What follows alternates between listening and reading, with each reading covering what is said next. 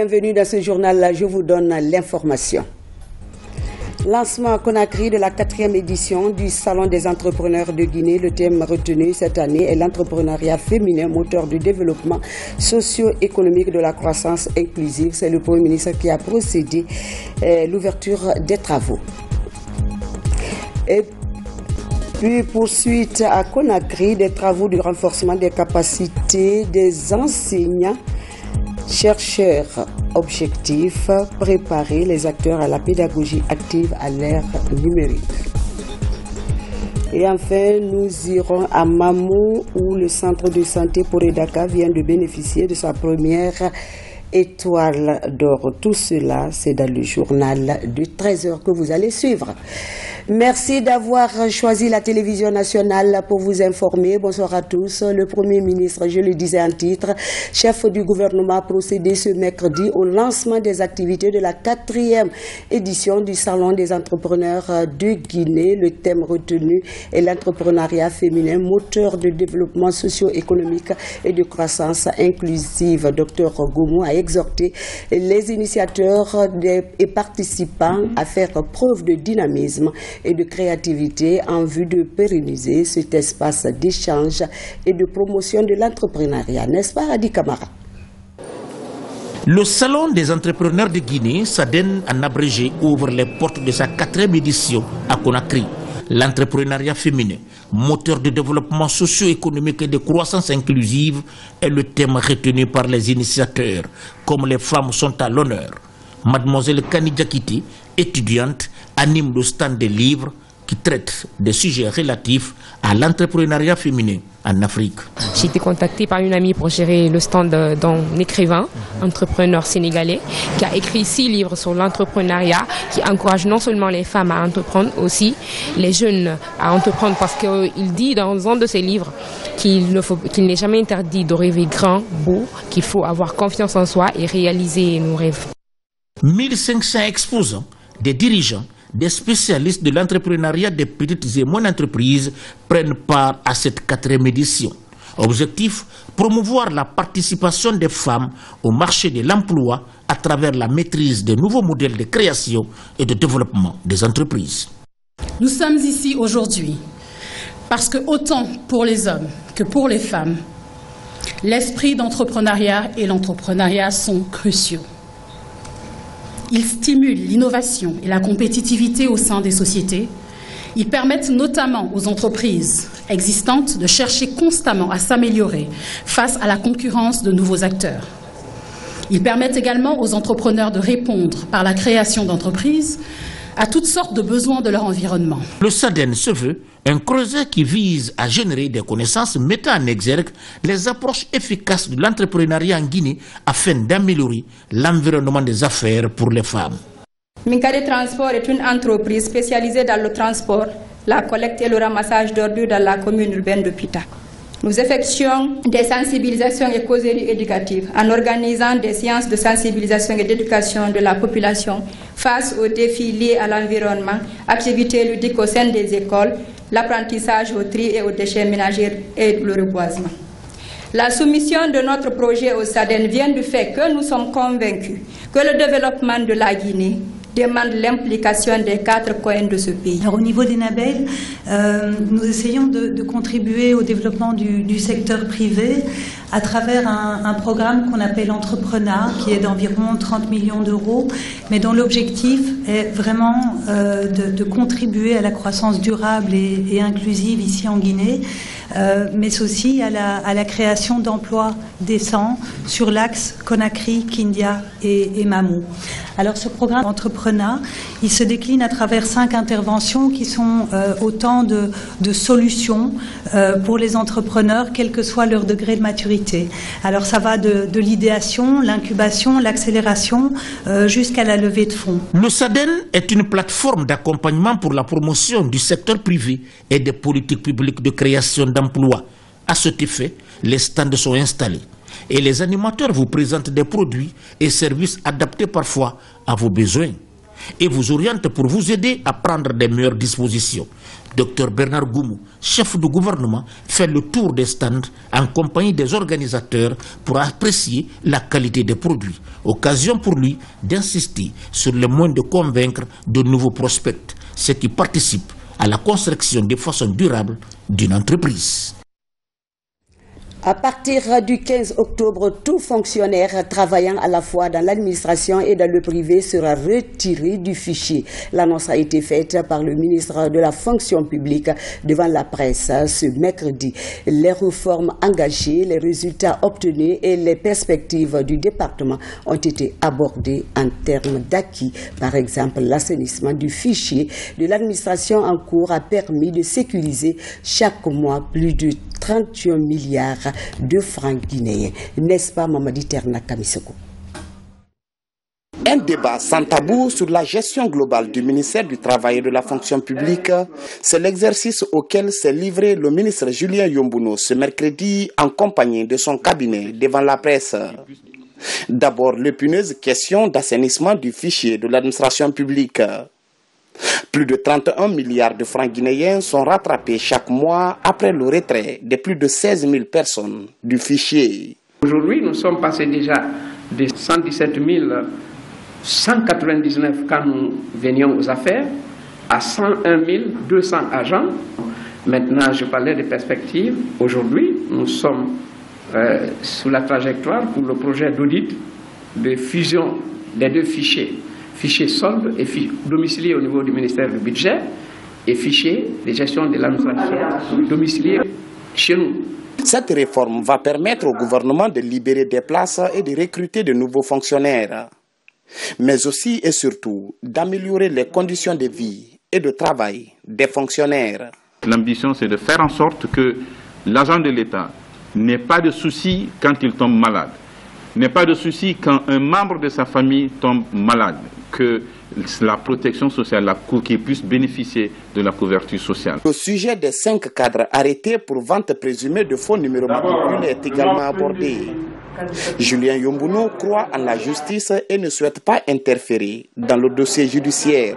Depuis que nous avons saisi euh, qui de droit, on ne se mêle pas de cette affaire-là. Parce que tant que nous, on n'osera pas convoquer, tant que la justice ne sera pas passée par le Conseil ministre des pour demander qu'on me mette à la disposition de la justice pour témoignage ou quoi que ce soit, je ne me mêlerai. Je n'ai aucun droit de me mêler de cette affaire. Dans le cadre des réformes institutionnelles et administratives, les attributions, organisations et fonctionnements de 23 départements ministériels sont approuvés par décret. Le Code du travail est en révision et le Conseil national du dialogue social sera bientôt opérationnel. Le 15 octobre, dans trois jours donc, une vaste opération est attendue contre les fonctionnaires travaillant à la fois dans le public et le privé. Et c'est parti pour les assemblées annuelles du Fonds monétaire international et du groupe de la Banque mondiale à Washington. La délégation guinéenne conduite par le ministre de l'économie, des finances et du plan y prend part activement aux travaux au compte de cette première journée. Plusieurs rencontres étaient au rendez-vous, notamment avec l'équipe pays du FMI, la directrice des opérations de la Banque mondiale, toute question d'ordre politique est abordée. Voyons tout cela avec Mamadi Gassama de Washington. La tradition reste de mise avec les assemblées annuelles du Fonds monétaire international et du groupe de la Banque mondiale. Les opportunités sont saisies par les délégués des différents pays pour renforcer le cadre macroéconomique. La délégation guinéenne entame les discussions avec l'équipe pays du et la directrice des opérations de la Banque mondiale pour la Guinée. Il était question de faire la revue de nos portefeuilles de financement avec la, Banque mondiale. Dans le secteur de l'agriculture, la Banque mondiale a un financement de 100 millions de dollars pour l'agriculture commerciale, dont le taux de décaissement est aujourd'hui très faible. Donc nous avons échangé avec le vice-président et les équipes du pays, et notamment la coordination aussi qui se trouve à Abidjan pour améliorer le taux de décaissement de cette agriculture commerciale qui est quand même importante pour nous Parce qu'il faut le retenir que notre agriculture a toujours été une agriculture de subsistance. Ce financement de 100 millions de dollars nous permettra aujourd'hui d'avoir une agriculture de transformation à la clé. Le FMI, ce sont les recettes qui les intéressent fondamentalement. Malgré le contexte sociopolitique qui traverse la Guinée, les institutions de Bretton Woods accordent un intérêt particulier à la question de gouvernance. Lorsqu'il y a eu les événements du 5 septembre, euh, conformément à nos règles et nos politiques, nous avons euh, arrêté nos interventions pour évaluer le contexte dans son ensemble et nous avons, vous avez dû certainement vous en rendre compte, repris très rapidement nos interventions parce que la Banque mondiale, à la vérité, il faut dire, elle a été mise en place pour servir les populations. Donc nous ne voulons pas que l'arrêt de nos programmes puisse affecter des populations qui sont déjà éprouvées à cause de, ces crises euh, multiformes qui secouent le monde. Donc nous avons repris, euh, nous avons non seulement repris les décaissements dans le cadre de nos programmes existants,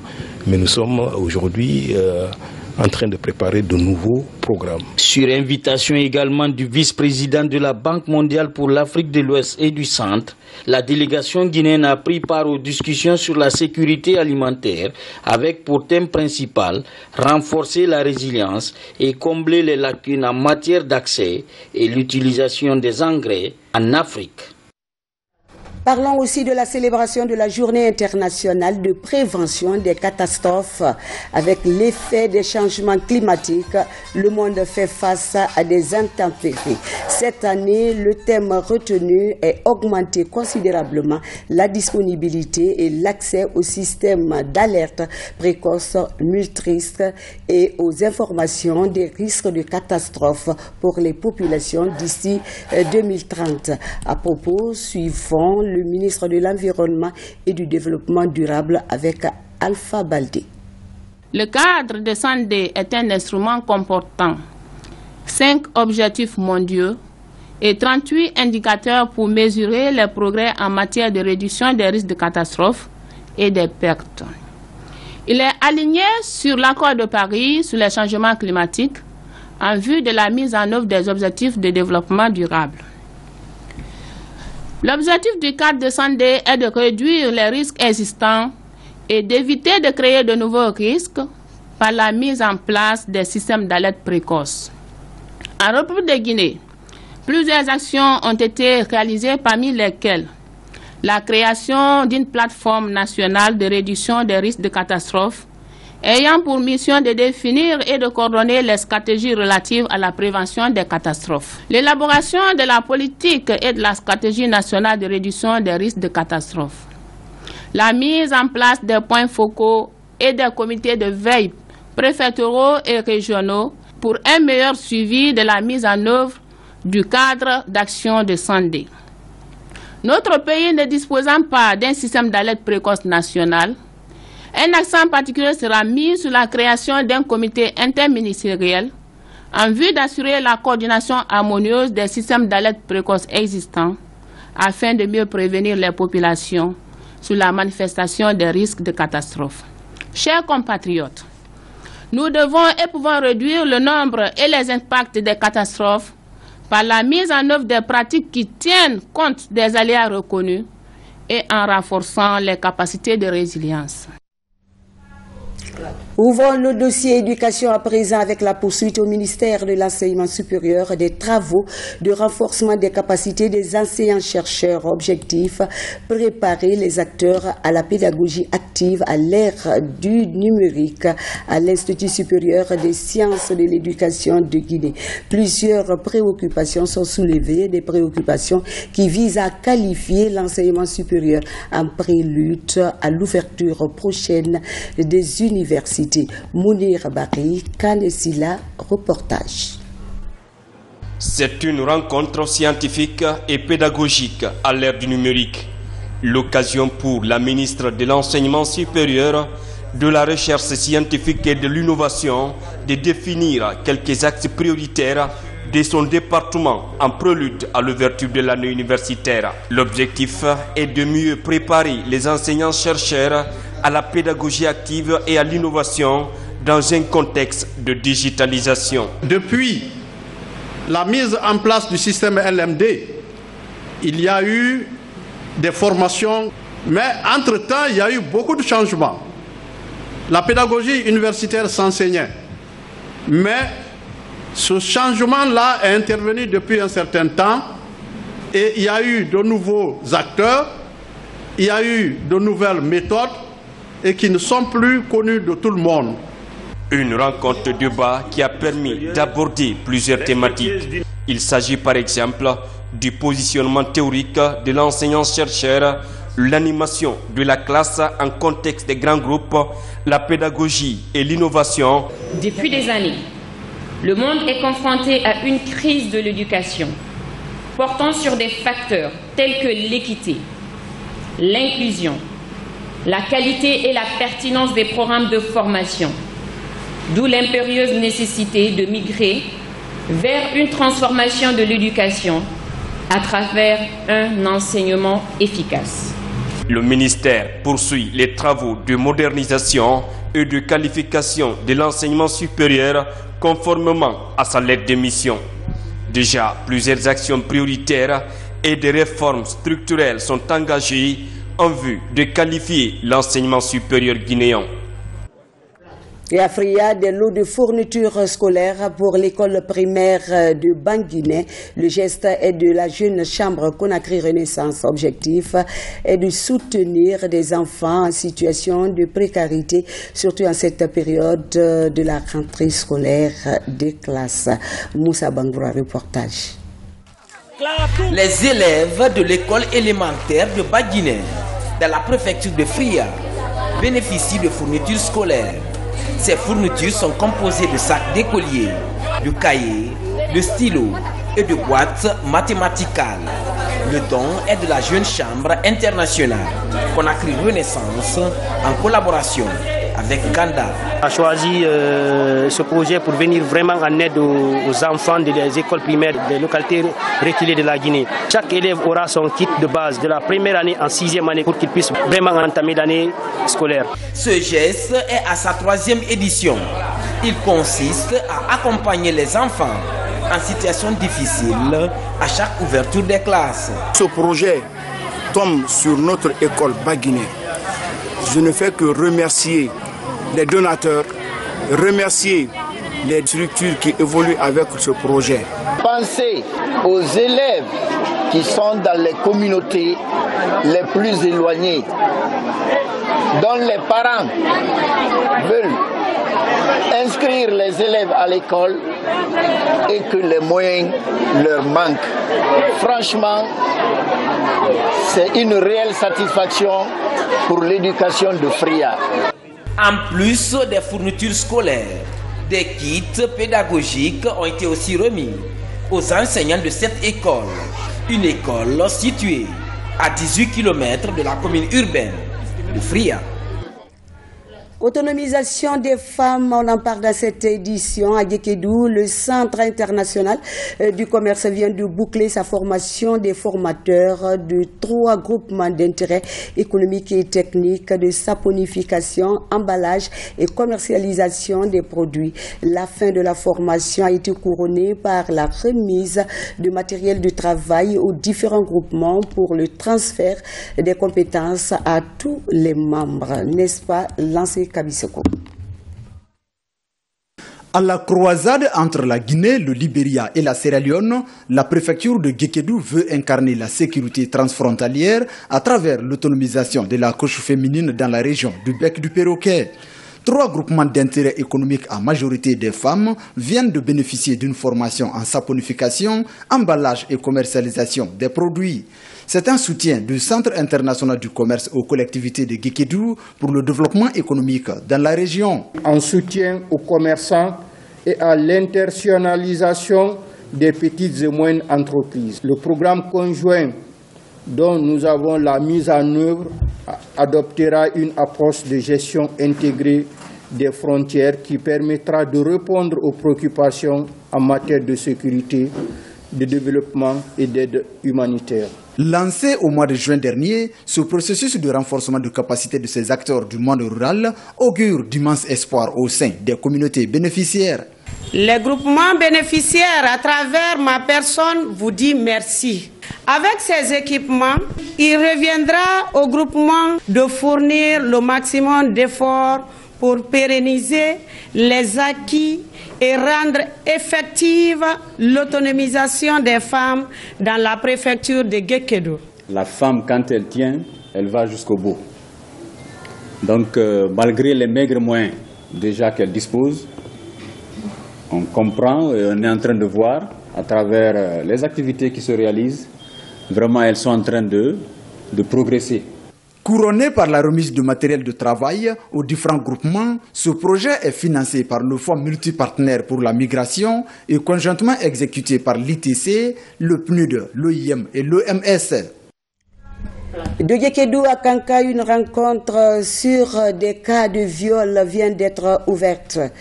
Elle regroupe les magistrats, les juges et les policiers. Objectif coordonné pour une meilleure prise en charge des victimes des violences basées sur le genre, mais aussi traquer les autorités Aboubakar Diaby et Foudé Kamara. Reportage.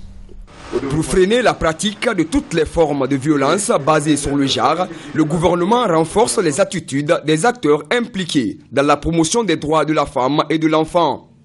Deux couches vulnérables protégées par ces points focaux du ministère de la promotion féminine, de l'enfance et des personnes vulnérables. Notre présence ici aujourd'hui, c'est un renforcement des capacités des points focaux, à savoir les magistrats, les avocats, et tous les officiers de police judiciaire venant de Zéro-Corée, Massanta, Sigiri, euh, etc., et j'en passe, pour essayer, pas de les remettre à un niveau, mais d'échanger sur tout le problème de la prise en charge judiciaire euh, des victimes de violences basées sur le genre. Les techniques de prise en charge des victimes des violences basées sur le genre et l'interprétation du rapport médico-légal sont entre autres astuces vulgarisées. Ces cadres entendent mutualiser leurs efforts pour un large partage des informations sur le protocole de la gestion des cas de VBG. Le juge qui rend la décision finale en matière de lutte contre les VBG, quand le juge ne sait pas interpréter le rapport médical, il est évident que la décision qui va être rendue ne va pas être en phase avec euh, la, réalité, la souffrance subie par la victime.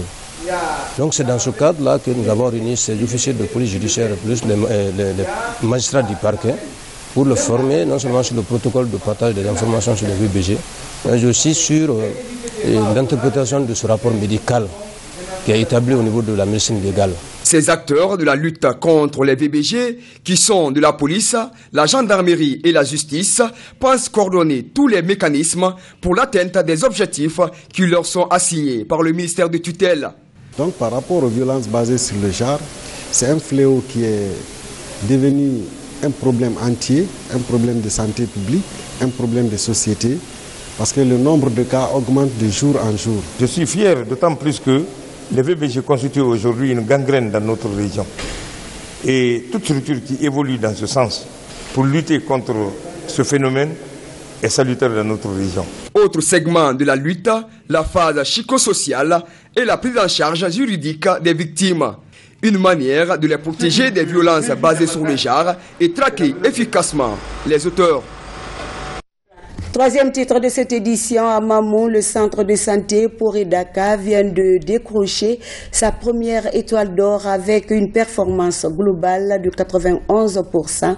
Ce centre vient aussi intégrer les autres structures de santé de la région en matière de performance sanitaire, nous dit Mamadou Pate Baldé dans ce reportage. Suivez.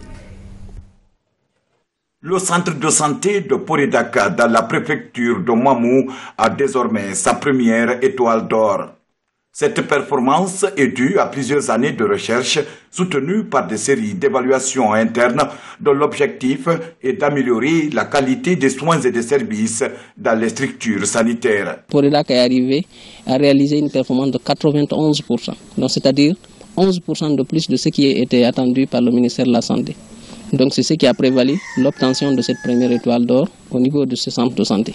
Piloté par le projet HSD Jipaigo sur financement de l'USAID, le centre de santé de Poredaka a enregistré des performances remarquables en matière de soins obstétrico-néonatales d'urgence, la planification familiale et la prévention contre les infections. Poredaka a fourni de l'effort. Ils ont d'abord été intégrés en SBMA, ensuite ils ont suivi des formations, ils ont fait une première évaluation où ils étaient à un peu plus de 40%.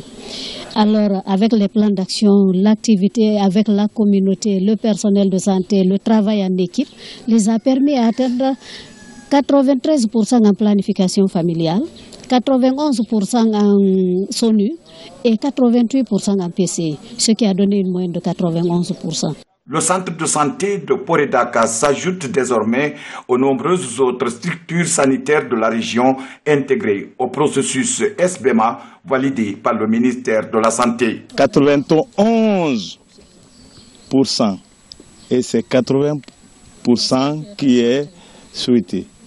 Cela veut dire qu'il y a un dépassement. Les mérites là, il faut continuer à saluer ça. Pour appuyer ce centre de santé à maintenir les indicateurs de performance, le ministère de la Santé, avec l'appui de ses partenaires, a offert un important lot de matériel, d'équipements et de consommables, ainsi que des certificats de satisfait au centre de santé de Poredaka. Et puis cette page noire, un baobab de la télévision nationale s'en va. Il s'agit de Elage Mamadou Batissema. Pour les intimes, le défunt était un emblématique secrétaire général du journal Parler de la radio nationale. Il est décédé ce lundi à l'hôpital de l'amitié sino-guinéenne par suite de maladie à l'âge de 70 ans. Ce mercredi, après la levée du corps, collaborateurs, parents et amis lui ont rendu un dernier hommage. Il est enfin accompagné dans son village natal à Bintumodia, dans Bokeh, où il va se reposer désormais. Un reportage de Abraham Christophe Conti. Suivez. Douleur et consternation à la RTG. Et l'âge Mamadou Bassouma, Tessema pour les intimes, a tiré sa révérence à l'âge de 70 ans. Il était de la première génération des journalistes de la télévision nationale pendant la Première République. Elage Mamadou Bassouma a travaillé pendant des années à la rédaction du journal Parler de la RTG comme secrétaire général. Ce mercredi, à l'hôpital de l'amitié sino-guinéenne, la levée de corps a lieu. Parents, amis et collaborateurs lui rendent un dernier hommage. Tessema a vécu pour nous tous, pour tout le monde, pour toute la Guinée. Parler de Mamadou Bassouma Tessema, c'est difficile. Disserter sur sa vie, sur son œuvre, sur ce qu'il a pu faire, c'est impossible. Parce que ce monsieur que j'ai découvert, que j'ai trouvé à la RTG, à la radio-télévision guinéenne, en 1986, je sortais de l'école normale supérieure de Manéa avec d'autres amis, d'autres collègues. Ce monsieur nous a accueillis à la, à la rédaction. Et depuis, on ne s'est pas quitté. Au nom de la direction et de l'ensemble du personnel de Coloma et de Boulbiné, dans un instant plein de tristesse et d'émotion, pour dire adieu à notre très cher Mamadou Bassouma Tessema. Celui qui était omniprésent, jovial, attentionné et passionné pour son métier. Il aura fait don de sa personne pour la passion qu'il avait du journalisme. Ponctuel, jovial, professionnel, il a fait don de sa vie à son métier de journaliste et aux autres. Un dernier tour dans l'enceinte de la RTG pour un autre honneur. Ses amis se souviennent encore de lui. Sans risque de me tromper, je pourrais dire que la RTG, le ministère de l'Information et de la Communication, perd le cadre le plus assidu et le plus ponctuel. Je le dis parce que je l'ai pratiqué depuis plus d'une vingtaine d'années. C'est quelqu'un qui avait les mêmes habitudes. Après la prière, il rejoignait son poste. Et il était le dernier à quitter. Un grand homme à grande âme s'est éteint. Une icône de la presse s'en est allée. Paix à son âme. Il a été au cœur des grands événements dans les années 1980 et il aura servi la maison jusqu'à son dernier souffle. Au nom donc de camarades syndicalistes et travailleurs de la RTG, nous voudrons juste dire à notre papa, à notre aîné, chef Tessema, Elage Tessema, Tess, tout cela pour dénoter que chef Tessema avait incarné toutes les générations. Pour ses amis, Elage. Pour ses intimes, Tess. Pour la nouvelle génération que nous sommes, chef Tessema. Une bibliothèque. Aujourd'hui, c'est consumé. Il nous quitte à jamais. Mais il demeurera, n'est-ce pas, dans nos cœurs, dans nos esprits, parce qu'il a marqué les temps. Sur proposition de nos aînés, c'est-à-dire que les anciens journalistes qui nous ont fabriqués, sur proposition donc de nos aînés, et après consultation du syndicat de la RTG et certains travailleurs de la radiodiffusion télévision guinéenne, la rédaction du journal Parlé va désormais porter le nom de Mamad Bassouma Tessema. C'est la meilleure manière de l'immortaliser. Il a participé à notre formation. Nous gardons de très bons souvenirs de lui. Et on continuera toujours à le garder dans nos cœurs. Connu pour son dévouement, son assiduité et son professionnalisme, Elage Mamadouba Tessema regagne sa dernière demeure cet après-midi à Bintimodia, son village natal qu'il a vu grandir dans la préfecture de Bokeh. Il laisse derrière lui une veuve et une fille éplorée. Vous avez compris donc désormais la salle de rédaction du journal parlé de la radio porte le nom de Mamadouba Tessema Souma. C'est une décision de la direction de la direction générale de la RTG. Et puis ce communiqué qui vient de nous parvenir, la Direction générale de l'électricité de Guinée informe son aimable clientèle que dans le cadre des travaux de construction du poste source de Sanoya et pour des raisons de sécurité, les lignes départ du poste de Kissoso et du poste mobile de Symphonia seront coupées du 12 au 13 octobre 2022 à 8 heures de 8h à 17h. Au cours de ces travaux, les quartiers ci-après seront coupés. Anta, Dapompa, Tombolia, Antacité, Lansanea Barrage. Tombolia 2, Anta T5, Anta Nord, Sophonia, Barkadianka, Sophonia, T7, Tombolia Plateau. Et puis Lansanea, Kuntia Nord, Kuntia Sud, Lansanea, Lambagni, Lambagni Solo Primo, Wanidra, Yataya, T6, Sangoya, Simambaya 2, Afrikoff, Matoto Sud, Sangoya, Cité Anko 5, Kisoso Sud, Anta Fassa. Et puis Université, Cimenterie, Samatran, Symphonia Gare, Symphonia Radar, Barkadianka, Sangaria, Yatsaya, Fula Madina, Moulin d'Afrique et Centre émetteur 2. Pour toute information complémentaire, appelez le centre de service client Allo EDG au 626 11 11 11.